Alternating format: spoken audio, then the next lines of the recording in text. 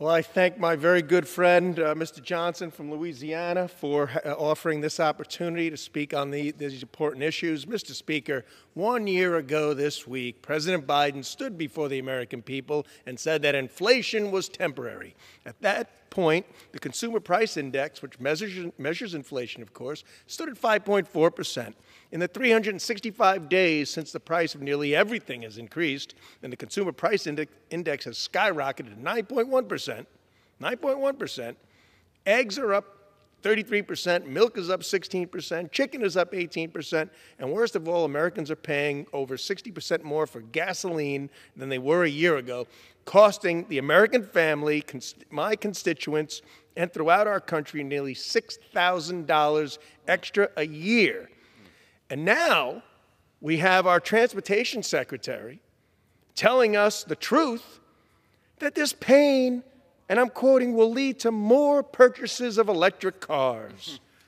so that was the plan. Thanks for being honest, Mr. Secretary. Meanwhile, however, the administration nor the Secretary of Transportation has any understanding of where the energy comes from to charge all of these electric cars. They are not exactly chess players, Mr. Speaker. and as my, my friend from Mr. Uh, Mr. Johnson from Louisiana put it, inflation, incompetence, the third I? Immigration. Immigration. Thank you.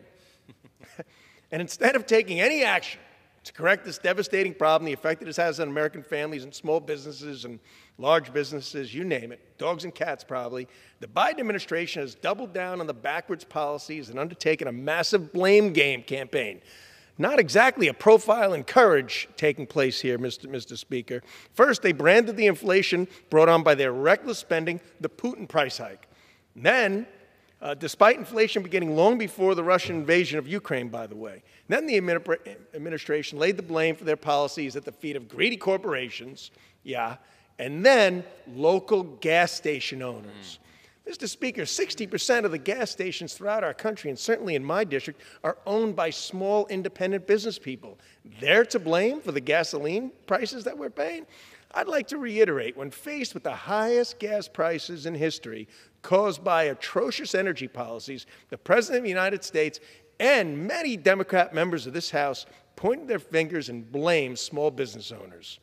The American people are not fooled by the Biden administration's fingerboarding, though they are paying a steep price for it. Despite the administration's best efforts to deceive the American people, we have learned that inflation was not temporary and has continued to skyrocket largely because of the Biden House Democrats' out of control spending.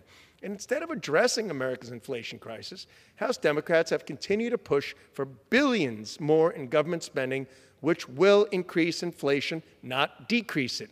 Continued excessive spending will increase inflation. It is a mathematical and physical certainty.